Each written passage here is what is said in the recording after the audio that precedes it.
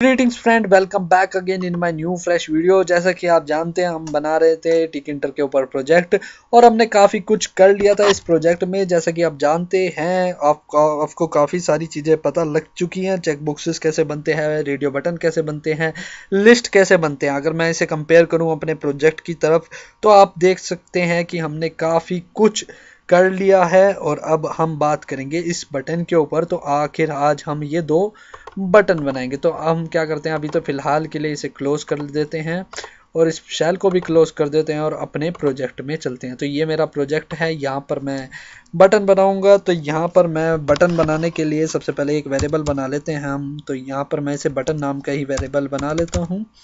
तो मैंने बटन नाम का ही वेरिएबल बना लिया है। अगर आपने मेरी पहले वीडियो नहीं देखी है तो आपको पता होना चाहिए कि मैंने आपको बटन बनाना सिखाया था।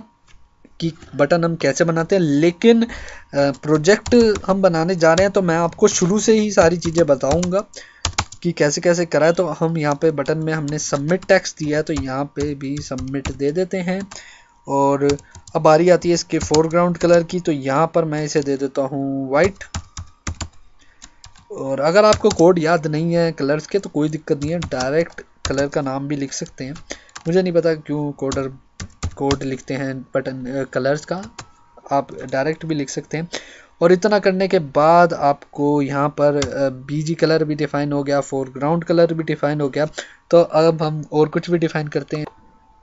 तो हम यहाँ पे इसका कुछ फंट साइज़ भी दे लेते हैं। तो यहाँ लिखते हैं हम फंट और यहाँ हम लिखेंगे टाइम और 15 और इसे दे देंगे हम बोल्ट ठीक है तो इतना करने के बाद अभी आपने देखा था मेरे बटन पे कुछ वृत्त भी आ रही थी। अगर मैं इस कोड को रन करता हूँ तो आपको पता लग जाएगा कि मैं वृत्त, कौन सी वृत्त की बात कर रहा हूँ। तो मैं सबसे पहले से बटन को प्लेस भी कर देता हूँ। तो यहाँ पे मैंने प्लेस यूज़ करा और यहाँ पे मैं डिफ़ाइन करूँगा एक्स थर्टी टू और वाई को मैं डिफ़ाइन करूँगा यहाँ पे फाइव हंड्रेड तो इतने को रन करके दिखाता हूँ मैं आपको। तो अब आप देखिए कि मेरा बटन यहाँ तैयार हो चुका है। लेकिन मैं इसकी चाहूँगा वृत्त बढ़े क्योंकि ये साइड में अभी मेरे प्रोजेक्ट के लिए काफ़ी है सबमिट बटन लेकिन और चाहे तो मैं यहाँ पर एग्जिट का बना के कर सकता हूँ, लेकिन वो बड़ा अच्छा सा लगेगा। अगर मैं थोड़ी सी इसकी वृत्त को भी यहाँ पे कमांड कर दूँ तो यहाँ पे बस मुझे क्या लिखना है? वृत्त। और यहाँ पर मैं वृत्त इसे दूँगा, वृत्त के साइज़ को मैं इसे लगभग दे देता हूँ। थ्री हंड्रेड के अप्रोक्स या नो थ्री हंड्रेड ज़्यादा थर्टी फोर के अप्रोक्स दे देते हैं थर्टी कहना था मुझे थ्री हंड्रेड कह दिया तो अब आप देखिए कि मेरा बटन की तरफ़ ये आराम से फैल चुकी है। इसी तरह हम बनाएँगे एक एग्ज़िट बटन। तो यहाँ पर हम एग्जिट बटन भी बना सकते हैं। बेसिकली मैं आपको एक बात बता दूँ, जैसे हमें बटन का कोई फ़ंक्शन परफॉर्म कराना है तो यहाँ पर हम कमांड लिख के उस फ़ंक्शन को यहाँ पर बुला सकते हैं। तो ये अगर आपने बने, मेरी बटन वाली वीडियो नहीं देखी है जाके तो वो देख लीजिए। अभी मैं फ़िलहाल यहाँ पे सिर्फ़ और सिर्फ़ बटन को डिज़ाइन करा है, क्योंकि मैंने अभी बटन का कोई फ़ंक्शन नहीं बनाया कि उस बटन को जब मैं कॉल करूँगा, उस बटन को जब मैं दबाऊँगा तो कौन सा फ़ंक्शन कॉल होना चाहिए। तो उसके बारे में हम आगे वाली वीडियो में बात करेंगे, क्योंकि वरना वीडियो ज़्यादा बड़ी हो जाएगी। तो इसमें मैं फटाफट क्या करता हूँ, एक एग्जिट वाला बटन बना देता हूँ, इसे मैं नाम दे दिया बटन टू और बटन टू नाम देने के बाद मुझे यहाँ पे बटन लिखना पड़ेगा और यहाँ पे बटन में मुझे बनानी पड़ेगी रूट विंडो में और टेक्स्ट देना है। यहाँ एग्ज़िट तो यहाँ हम एग्ज़िट दे देते हैं। फोरग्राउंड कलर दे देते हैं हम वाइट और बीजी कलर था उसमें रेड तो यहाँ हम रेड दे देते हैं। फंड साइज़ हम दे देते हैं यहाँ पर 15 टाइम 15 और इसे भी हम बोल्ड रखेंगे। तो यहाँ पर बोल्ड हो गया और वृत्त भी इसे सेम ही दे देते हैं ताकि ये भी उतना ही स्पेस ले जितना वो ले रहा है। तो यहाँ पर इसकी वृत्त भी हमने सेम रख दी और अब बारी है बटन टू को प्लेस कर देगी तो यहाँ पर हम प्लेस कर देते हैं और इसे मैं एक्स कोऑर्डिनेट दूँगा थर्टी टू और वाई कोऑर्डिनेट मैं चाहूँगा ये थोड़ा सा नीचे आ जाए तो 570 यानी कि 570 दे देता हूँ।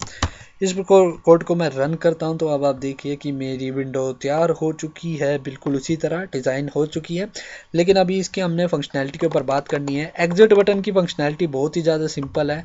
तो मैं आपको वो यहीं पे बता देता हूँ कि हम कैसे एग्जिट करते हैं। जो मैं आपको बता रहा था कि हम एक फ़ंक्शन बनाएँगे और उस बटन को बताएँगे कि हाँ आपको ये दबाने पे ये चीज़ कॉल होनी चाहिए। तो मैं यहाँ क्या लिखूँगा? मैं यहाँ लिखूँगा कमांड और सिंपल सा यहाँ पे मैं लिखूँगा। बेसिकली मैं इसे नीचे ही ले आता हूँ ताकि आपको कोई दिक्कत ना हो पढ़ने में। तो यहाँ पर मैं लिखता हूँ इसे रूट डॉट क्विट बस इतना सा काम करना था और इसे सेव करते हैं हम। और यहाँ से हमारा ये था प्रोजेक्ट और इसे रन करके मैं आपको दिखाता हूँ। तो अब आप देखिए कि ये एग्ज़िट है और इसे मैं दबाऊँगा तो हमारी विंडो बंद हो जाएगी। ये एग्ज़िट है, मैं इसे दबाऊँगा तो विंडो बंद हो जाएगी। तो आपने देखा कि हमने किस तरह अपनी डिज़ाइन को कवर अप कर लिया है, लेकिन अभी फंक्शनैलिटी की बात नहीं हुई है। हमने काफ़ी कुछ कवर कर लिया, इसमें checkbox radio button list button के डिज़ाइंस और ये एग्ज़िट बटन भी कवर कर चुके हैं हम।